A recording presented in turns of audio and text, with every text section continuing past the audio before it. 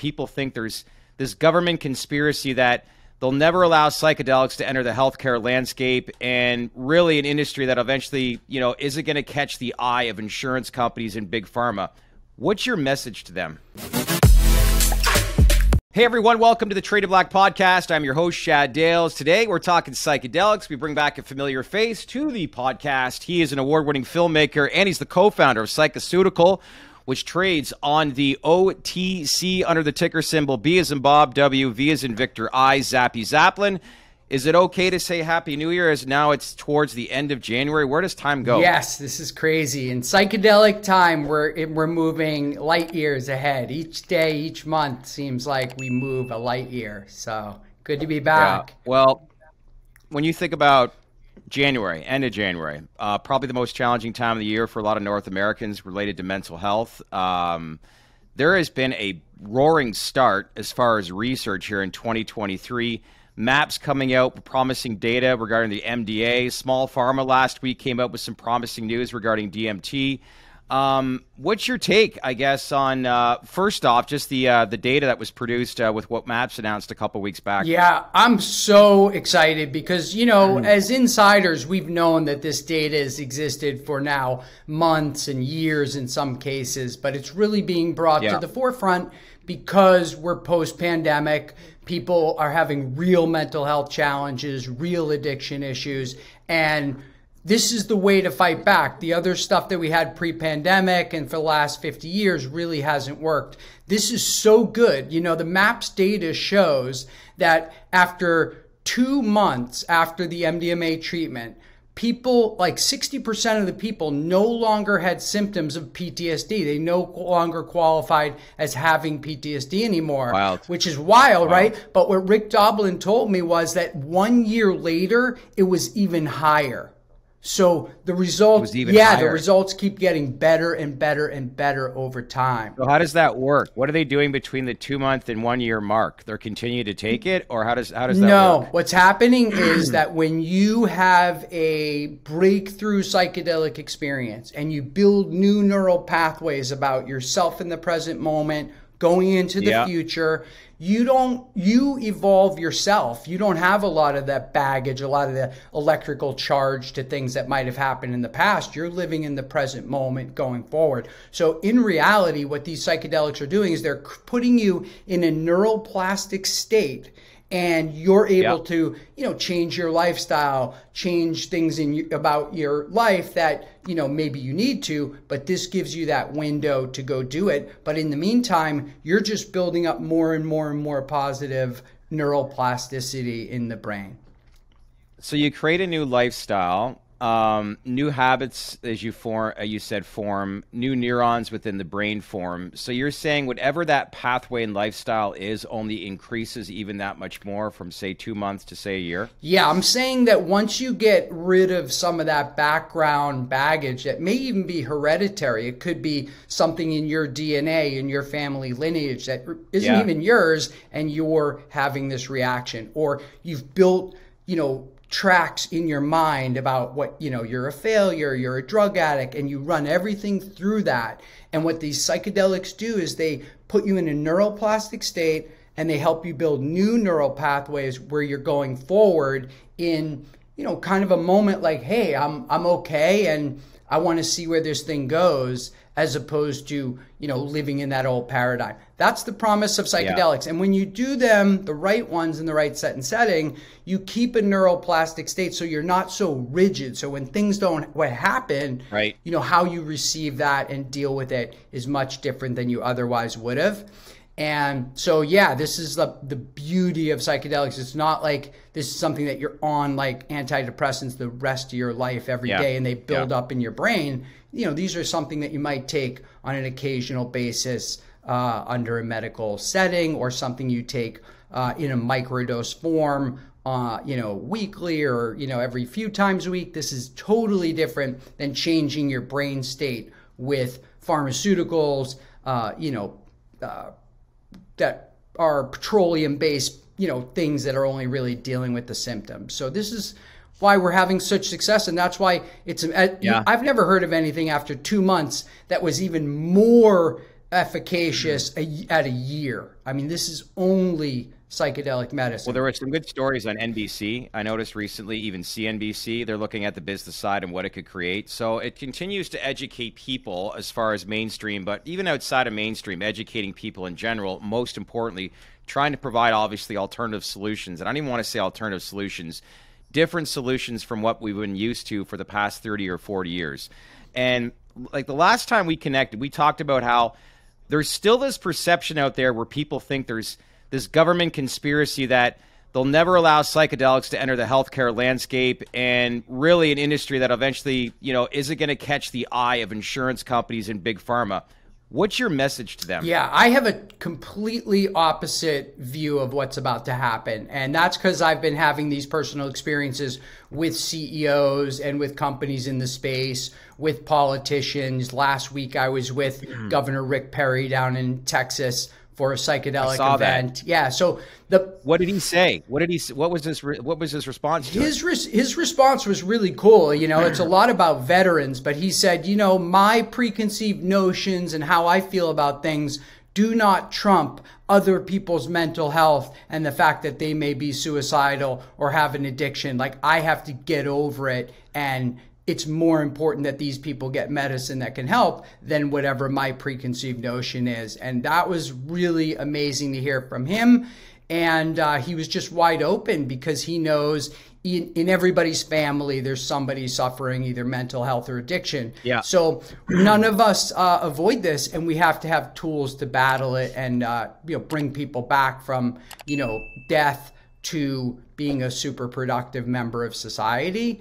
And only way I've ever seen that happen is that somebody gets instantly more empathy from a major psychedelic experience. And when you emerge with more empathy and you can put yourself in other people's shoes, uh, you live your life differently. You may do your business differently, your relationships. That's why these things a year later, because you know you do more and more and more positive things for yourself. A year later, that's going to exponentially build upon itself. So we should expect as this psychedelic renaissance happens right now, psychedelics are hitting everything. They're hitting business, music, fashion, just like they did back in the 60s. But then everything was clamped down in the 60s. This is going to happen. You're going to see, you know, hip hop music become higher conscious. You're going to see fashion change, business uh, opportunities, and co-opetition is really going to be the thing that you know takes hold here now that we have you know things like you know um, AI and everything that's just changing the whole playing yeah. field. It's like how are people supposed to handle this level of technology and information? They can't. We need some kind of a evolutionary leap forward and that and you think psychedelics will do that absolutely 100% this is how wow. you know according to some people this is how the apes evolved into humans because they had that psychedelic experience uh, with psilocybin mushrooms out in the field, and and that caused a, a, leap in the brain capacity and things like that. So we're gonna see this hit culture. Um, you know, I'm excited because like as a business person, I really believe we have to change the medical approach that's being taken with psychedelics. We have to make these psychedelics more like the medical establishment expects them to be. Yeah, of course. And so let yeah. me ask you something. For people that are watching this right now, that they say, wow, this guy's getting way too far ahead of himself. AI, psychedelics. Um, what, what's your response to that? What what's educate them on why you feel that way? Yeah, well, you know, the, the, the key is that, you know, uh, you have these ancient technologies of nature where we know all the cures, most drugs are based on natural plants and compounds. And so Yale University, Johns Hopkins, all these top institutions have done incredible work on psychedelics. And right now, frankly, psychedelics for mental health and addiction is the only positive story we have in society. So mm-hmm. I would say to those people that in the same way that probably people were, you know, afraid of the automobile or people were originally afraid of the internet and they said, "Oh, nobody's ever going to buy anything over the internet worth more than $20" or all those things that you heard as Do you think it's going to have this this much of an impact on people's lifestyles across the world? Like do you think this will have this this this kind of impact of like everyday life uh, when it comes to the social aspect, business aspect, all that stuff? Yeah, I really do. And I say that because psychedelics make all of that stuff better. They make it more tolerable and they make it so that a human being can handle all this information and technology. And so I say we're living in this empathy crisis right now where people don't have empathy. They can they want to care about people, but they can't put themselves in other people's shoes. And when you do psychedelics, it brings you back to the miracle that we're in, number one. And then number two, it raises your empathy level. And if we have enough people with enough empathy, we could solve any problem we have as a society. So for me, when I see the war in Ukraine, I don't go, oh, how do I fix that? I say, we got to get a million doses of ketamine over to Poland right now because these people have PTSD and ketamine is shown to break suicidal ideation, depression, anxiety, addiction, and that's what these people need to heal. Uh, if we they, if we want them to come back in the way that we all want them to come back. So this is the solution to everything uh, the more people we get to have that experience and emerge with more empathy, that's when we begin to do really important work uh, together as a society. Yep. Chad Harmon, your CEO of Psycheceuticals, has an extensive background and history working in the insurance business. Uh, first thing, insurance companies. I want to understand the business side of this and people that are getting into the space because their companies are going to have to show a pathway to revenue. So, whether you're in the clinical model, drug development's a completely different game. You got to have a lot of money to obviously advance. You have to have diversification. That's into the hundreds of millions of dollars. I only see a couple of companies actually lasting within this industry because there's very few, and probably a lot of people know who they are as far as raising that kind of money. But as far as the everyday clinical model, taking compounds, that sort of thing, insurance companies want to look for data. They want to look at cost. So if you're new to the industry, when you're walking into some of these clinics, a session could be a couple hundred, if not a thousand dollars per session, because you're sitting down with assisted therapy like a, a psychiatrist. So, how exactly does the insurance model uh, get in and work as far as a business based on a lot of the feedback that Chad's have been having discussions. Yeah, with. and and before I go into you know psycheceutical itself, I want to tell you that the exciting part for me is that as powerful as the pharmaceutical companies are, and as much as people think that they might be holding back some of this progress, it's not the case. They will sell whatever it is that they can sell. What's happening is, as strong as they are, even stronger than them is the health insurance companies, the guys who are paying for the medicine, the United Healthcares, the Kaisers, these people. And I've had personal sit downs with the top people at those companies, and they've said, we're sick of paying for the stuff that doesn't work. We're not going to pay for antipsychotics, talk therapy, people going to an emergency room having a panic attack on Saturday night. If $2 worth of ketamine can help these people, they have side by side tests going right now in Austin, Texas with ketamine and esketamine, which is this very expensive medication covered by insurance that Johnson and Johnson has. These pharmaceutical these uh, health insurance companies don't want to pay anymore. They're doing side by sides and they and they've already said to the insurance companies if psilocybin mushroom microdosing can eliminate all these antidepressants and lower all these costs of healthcare get to it right now and the pharmaceuticals are doing so it's amazing time but so you're seeing this and hearing this based on conversations. Yeah, these are chief uh, research officers. These are uh, senior executives uh, in the C-suite, CEOs, and people like that. That's how important this is to the next their their future. They know this is a trillion dollar industry wow. at some point, so they're figuring out how you know how does this affect us now, five years from now, 10, 25 right. years. So back to psycheceutical. Um, you know, psycheceutical was developed to bring uh, things that could work in far that work in pharma over to the psychedelic space so that we could more easily dose patients and all the promises that we need we need these compounds to look more like a pharmaceutical and for the medical establishment to understand the half-life and all these things of these compounds. So psycheceutical is going starting our clinical trials on our neurodirect ketamine and as many people know, right. ketamine is the only FDA approved psychedelic right now. It's not a hallucinogenic. Important for viewers to know yep, that. it's a dissociative and it's a the number one anesthetic used by oral surgeons on children because it's very fast acting, it's very safe, and it wears off quickly. What happened was they were doing amputations in the battlefield in Vietnam, and they looked back after the war, and the people that got ketamine as their anesthetic hadn't committed suicides at the same rates as everybody else. So they were like, Are you yeah, serious? yeah. They were like, what's going on Wow. here? They did bring it to Yale University. They do a huge study, and they come up with ketamine, low dose ketamine is 70 plus percent effective against even treatment resistant depression. Now, So, yeah. Wow. Yeah, so let me take it one step further.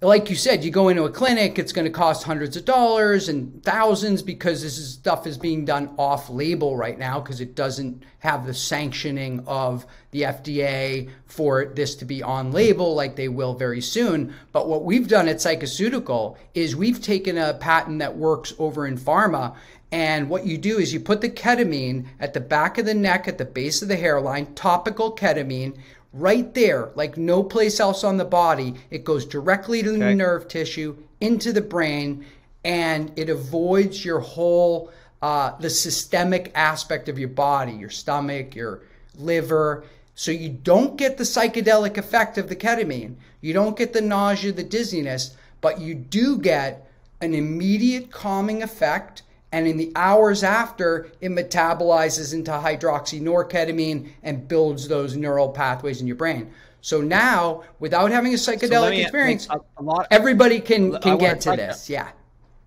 Yeah, can I touch on that? Because I think a lot of people, including myself, I've never had a psychedelic experience. It interests me. You know, everybody wants to improve, obviously, their mental health. We've all been down that road where dark roads actually make stronger people. But man, it would be nice, obviously, to have certain situations that you could actually uh, improve your life even more without actually knowing about it. But what I mean by that is, do we look at um, this whole psychedelic experience for some as being very um, overwhelming and a little like nerve wracking, so to speak? So, with what you're describing, you still get the same end goal, which is calm, new neurons being created without a psychedelic experience. Am I understanding that correctly? Yeah, exactly. And basically, this is the promise that we have now because uh, what I like about the moment we're in is that you don't have to go down this path and try to be the person that you know takes this compound and makes it relevant for this condition.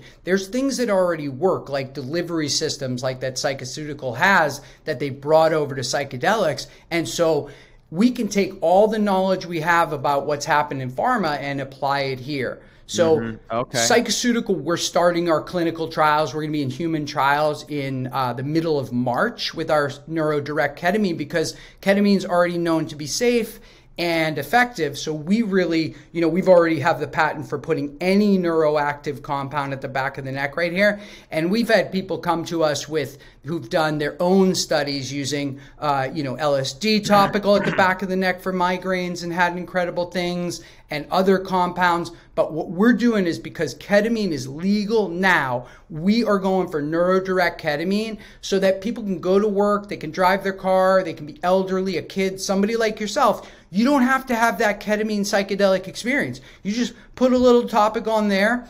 A minute or so later, you feel this very relaxed state, but you're still able to go do business, drive a car, and it lasts Right. for hours and hours. I mean, I'm going to say many hours, and we're we're proving this out because we want every emergency room, every doctor's office to have this. And before somebody goes in on antidepressants or you know down that path of talk therapy and all those things, you're going to be in that emergency room or your doctor's office. They're going to put the neurodirect ketamine there, calm you down, let you leave with that, prescribe it. Now you go home, you rub it on your neck, and you don't have to have doctors and all kinds of people monitoring you. Because as you know, probably, Chad, I want to make one point because you're in Canada. Up in Alberta, they made this announcement about uh, psilocybin Yeah. being legal, and everybody's like, oh, that's so awesome. But if you read the fine print, it says you have to have two doctors with you during it. It's like that's absurd. Two doctors, like that's cost prohibitive for everybody, unnecessary, and like that's why I'm standing here in front of the sitting here in front of the Mind Army sign because not only do we need legalization right now, but we're not going to put up with people who don't even know. Because again, doctors don't really know about nutrition, which could solve a lot of. Don't get me problems. started on the direction of this country. Yeah. Don't get me started. I think there's a lot of Canadians that are in the same boat as me right now, but That's actually interesting information. That's you know misleading to say yeah. the least. It's like buying a subscription and they renew it annually without your knowledge and just renew your credit card. There's like a story within the story that a lot of people will go missing. But yeah. Um, can I can I can I say one more thing about the um, about the insurance go side ahead. of this thing? What I love about the NeuroDirect ketamine and psycheceutical and what's going on there is that you know, like you said, Chad comes from decades in the insurance yeah. space. So when he was analyzing psychedelics, he said to himself, I'm not going to do anything unless I think it's something that the insurers will pay for. So when he saw NeuroDirect ketamine and the fact that, you know, this is an opportunity for it to be topical, take home, you don't need the doctors, all these things, he was like, as the former payer and all that stuff, he's like, I, this is what I'm looking for in the marketplace. So we know that, you know, if we can save these companies a lot of money by putting people on NeuroDirect ketamine first, so they don't have a panic attack, they don't need to go on antidepressants, and they don't need to, you know, have talk therapy all the time. Uh, if they have a ketamine and they're feeling good, and some of the people that were anecdotally that are getting the NeuroDirect ketamine that we're now about to do the clinical trials come March, that some of these people they're homebound, they haven't held a job in 20 years, they can't. And they use the neurodirect ketamine and they've been able to go out on their own and within you know days weeks to be out and have a job and their family is just like in shock and how is this even possible this is the power of ketamine and this is the power i believe of neurodirect ketamine to be the first way you try it so somebody like yourself or a kid or an elderly person doesn't have to have some type of psychedelic effect to get the benefit of this incredible compound of ketamine. Hell of a spokesman. I love the way you sell your story. well, you know, I got kids, so I I need this to happen. I want the world to be a better Listen, place. I want I, I want to bring this back where it's like, let me ask you a question, and I, I know where you're going with this, but um, where you're what you're probably going to say to this, but do you think based on the conversations that you've had with insurance companies and big pharma companies up until this point that they are now seeing that this will upend the existing pharmaceutical uh, drug treatment um, yeah absolutely and um, i i've set out to help them you know and to in their they're doing their own studies but what i've tried to do i've got a company in uh, in Utah, and it's called HempLucid. It's a CBD company. I was able to get their senior management to have a ketamine experience with the doctor to tune them into what the opportunity was. And once they realized for themselves the benefits that they were having, not only in their mental health, but also in being in a peak performance state, they started offering this as an HR service of the company. Because what I think is happening is it used to be before the pandemic, if somebody worked for you, uh, you know, the expectation was that they were going to take care of their own mental health and their own private life. But now, post pandemic, right. everybody, you know, you have all these people working virtually and it's your problem. So you need to make sure they're okay. For some of these companies, you know, and, and Hemp yeah. Lucid, they gave it to, you know, 30 plus people in the company and they're having incredible, um, you know, business success. But, you know, you look at a Wall Street trading firm, if one of your guys is having a mental situation and he could be helped with psychedelic medicine and he's going to make you another $100 million this year, you know, then give it to him as an HR. Don't wait around for, you know, it to be covered Good for point. insurance. yeah. We touched on the at the top of the podcast um, recent results regarding MAPS. I've asked this, spoken to quite a few reputable people in the industry based on previous conversations. Do you think MDMA will be legalized in the next 12 months? I do, absolutely. Um, because of the efficacy that MAPS has already shown and the dedication of the, that group, and the fact that they are able to bring forward large sums of money to do whatever they need, I would say yeah. yes. Um, I want to reference atai because I know last week there was like some negative blowback a week or so ago on atai, One of their clinical trials did not go the way that they wanted it to go. And I say, I said, you know, that's going to happen. You know, atai has probably six or seven or more drugs in different various stages of development. And so, yeah, one of them's not going to go well, but one of them's going to be probably a home run. And so I still look at atai like it's a hmm. mutual fund well, of opportunities. Yeah, we had an interview with Christian about a week and a half ago, and uh, for all the viewers, if you want to see more details on that interview, you can go into our playlist, and uh, it's titled uh, "What Next for atai." But he basically outlines about how it's not like the trial is completely done. There's tweaks that need to be done. A higher dosage will then take place, but the end goal is still very much could happen with what they're trying to achieve. But I think if anything, we're learning about how biotech works investors got into this space and thinking it was the next cannabis run.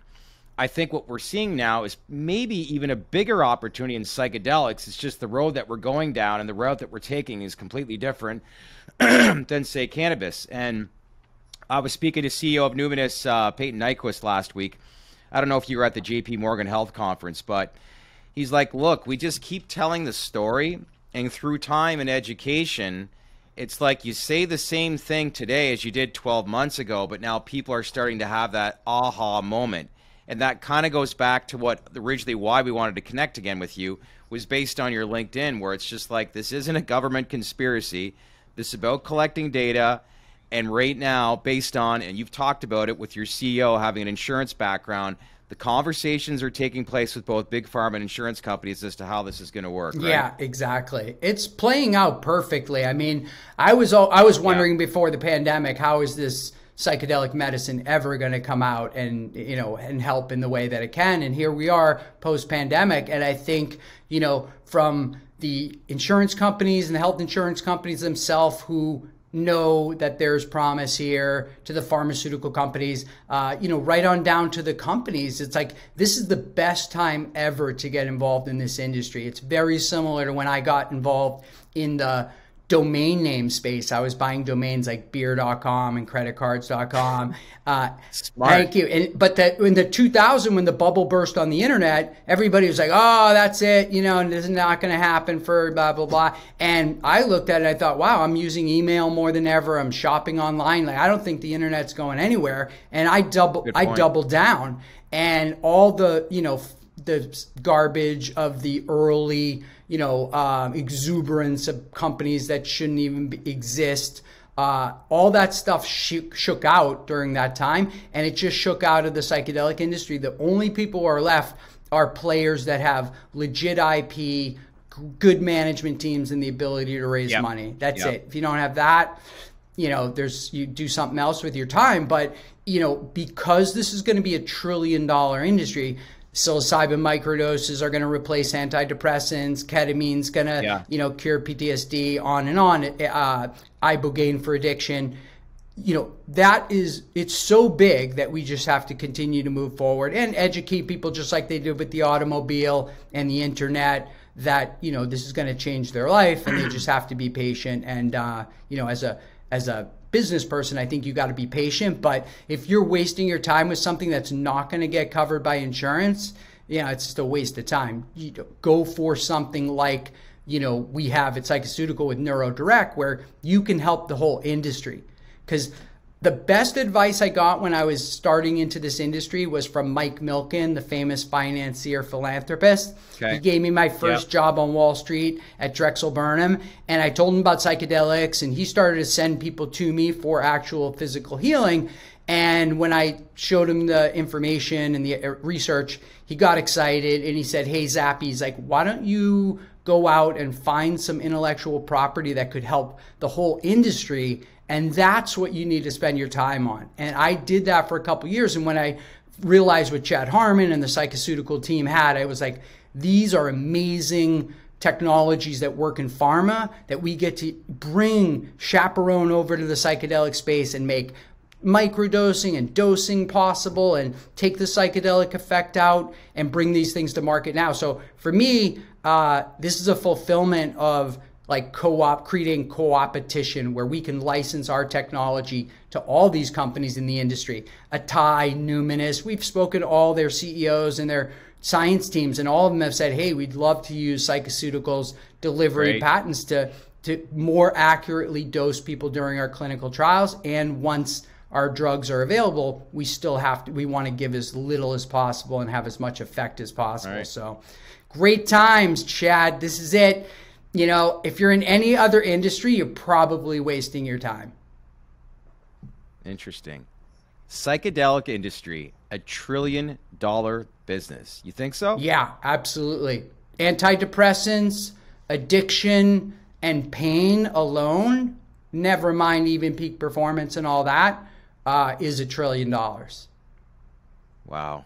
And you're having these conversations with insurance and big pharma companies. They see this coming. Yeah, these are really smart people. I mean, they've been watching the research for years, but uh, until the until there were alternatives, because prior to even S-ketamine coming out, there weren't necessarily any alternatives to ketamine.